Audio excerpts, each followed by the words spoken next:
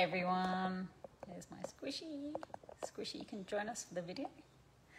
Um, I just wanted to check in today and talk about the difference between self love versus self care. So, um, this was something that came up into my mind um, a few years ago now. Um, back in, I've just written a blog on it, so I'll share that as well. Um, hey, Squishy, say hello to Squishy. Um, back in 2011, I was in a pretty, uh, say hello if you're jumping on. Um, hey, Colin. Um, back in 2007, uh, 2011, um, it was kind of my, I, I, moved to Australia when I was in 2010. And to, in 2011, I found myself back in depression for what I thought was the second time, but um, it was, I think, more of a continuation of, hey, Shannon, uh, more of a continuation of the depression that I'd had towards the end of 2010. 2010 was a pretty shitty year for me. I had um, slipped a disc in my back, so I couldn't exercise, and exercise was my number one go to stress reliever at the time. Um, I was in a really toxic relationship that I ended up leaving and all kinds of shit happened as a result of that, which wasn't very good. I was signed off work for four and a half months with my back. Um, and work uh, was, I was in a job where I was helping people. So suddenly I'm kind of signed off work, not hanging out with anyone because all my mates are at work. Um, I couldn't exercise. Um, you know, I was kind of recovering from a lot of different trauma that had gone on for in the few years before. And I found myself in depression. And then kind of got over at that, went on a couple of holidays, um, felt like I was back to my old self, moved to Australia. And then the next year, I found myself kind of in limbo. Like, I feel like anyone that moves to a different country ends up kind of with the blues at some point, you know. Um, when you're caught up in all the excitement of moving to a, a, different country, and it was a dream of mine for 10 years to move to Australia. Um, you're kind of caught up in that whirlwind. But then, you know, a lot of it's it's not easy to set up in a new country, no matter how self sufficient you are. Um, you know, it definitely comes with its challenges. And I found myself um, tree planting for uh, a working holiday visa, so I, that I could get a visa to stay in the country. I found myself single, so I wasn't in a relationship where I was helping anyone. Hey Nadine, hope you're well. Um, hey Vladimir. I, I wasn't in a job where I was helping anyone. I wasn't uh, in a relationship where I was rescuing anyone, which had been my kind of trademark for the few years before that. Um, I was in a new country. I was miles away from all of my best friends. And I found myself back in depression. I wouldn't, I don't think, as much as I felt like I was back to my old self, I don't think that I uh, had chemically recovered in my brain at that point. And I kind of had a bit of an aha moment during that time where I realized that all of my self worth pretty much all of my self worth came from helping other people. And I realized how that wasn't a good thing. And at the time, I kind of um, vowed to improve that for myself. But I think, really looking back uh, at what I was doing then, um, I really was only implementing lots more self care, which is a part of self love, but it isn't all of it. So, I focused on that. I got myself out of the black hole, uh, moved on with my life, and then fast forward a few years to 2016. I found myself in an amazing place where I'd achieved so many goals. I'd got permanent residency in Australia. I was here to stay. I'd built my first house by the ocean. Um, at that point, I was running my business full time. I was in a really, really good place. But I felt this growing kind of hole in my solar plexus area, which is the home of your confidence and self esteem and self worth. And it took a while for me to figure out where that was really coming from.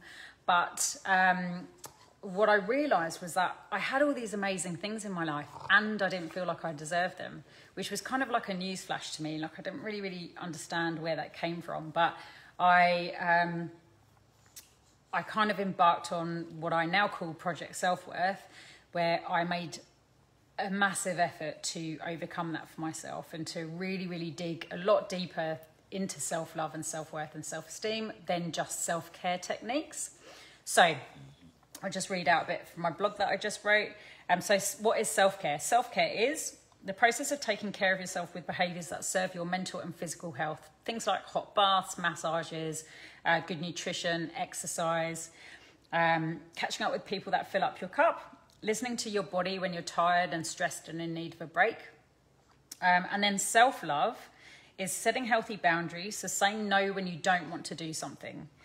Practicing mindfulness, really, really tuning into your body, your emotions, um, not making something wrong because you feel a certain way, but really just tuning into yourself and, and allowing those kind of emotions to be there and letting them process through you uh, rather than acting a certain way or reacting a certain way because of them. Um, feeling into what is a yes for you and what's a no, and, and really listening to that.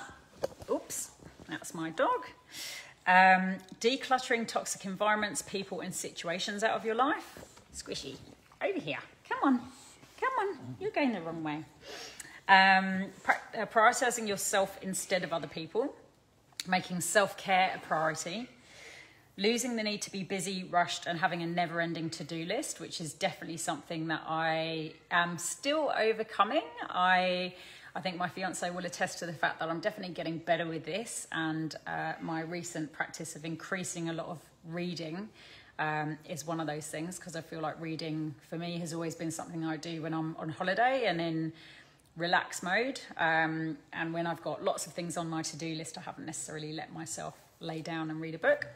So I'm doing more of that. Um, feeling peaceful and content being on your own or having alone time. So in the past, if I had a whole free weekend coming up, I would kind of feel like a mini panic inside and call all my mates and organise to basically book out my whole weekend.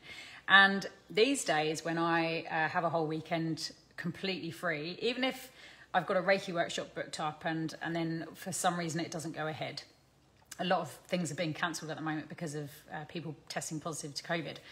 Um, like I revel in the fact that I've got a free weekend. I'm, I just think, oh, what can I do for myself this weekend? You know, uh, like this long weekend, I've got lots of free time. I'm also doing lots of distant healings. I'm teaching Reiki and stuff like that, and coaching. But I've also got plenty of free time to spend just with myself and with my dog, doing the things that I really want to do. Um, Self love is about no longer spending time with people who don't fill up your cup. So really ditching the critical, judgmental people in your in your life. You know the people that you, when you spend time with them, you walk away wondering why you had, and you walk away feeling really shitty about yourself. It's self love is really about fucking those people off out of your life. Um, it's about speaking kindly to yourself rather than critically. You know, if you think, if that voice in your head that doesn't speak kindly to yourself was an actual person, would you want to hang out with them all day long? You probably wouldn't. If they said, if a person said some of the stuff that you say, say to yourself, would you just tell them to fuck off and walk away? you probably would. Um, it's about accepting yourself fully, even for what you perceive to be your flaws which can you can turn into strengths. You know, there it's only a perception that they're your flaws. Um, it's forgiving yourself for past mistakes. That's really, really important, and not letting yourself hold on to shame, but really helping yourself to release that from the past. Um, it's being authentically and unapologetically you. You know, uh, are you one of those people that constantly apologizes and says sorry when really there's nothing to say sorry for? Stop doing that. Stop doing that. Just be you be raw, unfiltered, unapologetically, authentically you. You're going to be like Marmite, like the advert says. You either love it or hate it. I love it. Everyone, everyone that knows me knows I love Marmite. Hey woo, how you doing? Um, so yeah, just be raw and unapologetically you. Fuck anyone off who doesn't enjoy who you are because there's plenty of people in the world that will enjoy who you are. You've got no need to apologize for who you are. Um, have a high regard for your own well being. That's really, really important.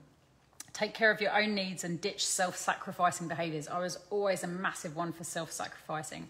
I would dive into other people's shit um, like it was a swimming pool, um, especially when I needed my energy the most. I would just dive on in there and, you know, rescue or try and help people who didn't necessarily always want to be helped either. So I stopped doing that. Um, I still every now and again have to catch myself out from doing that, but I'm, I'm a lot better than I used to be. And self love is also no longer judging yourself. Hey Tim, how you going? Um, so just reflect on that list. I'm going to post up the blog um, as well with this video. So just have a reflect on that list and really think about what are you doing in your own life? Are you practicing self care? Are you just practicing self care and not really self love? Like, are you doing surface level stuff like, you know, taking yourself for a massage or having a bath or, you know, you've got exercise and nutrition down pat, but you speak to yourself like shit all day long and judge everything about yourself. You know, that's not true self love. You deserve to love yourself. It's not a selfish thing. Um, the more you love yourself, the less you do things. Hey, Kiara. And the more you love yourself, the less you do things that are just about people pleasing. You know, you live a much happier, more fulfilled, healthier life. Um, and when you're happier and healthier, everyone around you is um, naturally happier and healthier as well. And if they're not, probably means they're not supposed to be in your life. So that's what I wanted to check in and say to you today. Squishy is here. She's been my little Reiki buddy today. I taught advanced healing techniques and I did a few distant healings and she was being very patient, waiting for me to finish my work. Um, and now I think it's probably time I take her to the park. She's been patiently waiting for me. So whatever you guys are up to this long Easter weekend, I hope you're having loads of fun. I hope you're also um, practicing lots of self-care and self-love and uh, drop me a message in the comments below. Let me know what is your favorite form of self-care and self-love. Probably this weekend it might be stuffing your face with Easter eggs. So enjoy that and I will speak to you soon. Lots of love guys.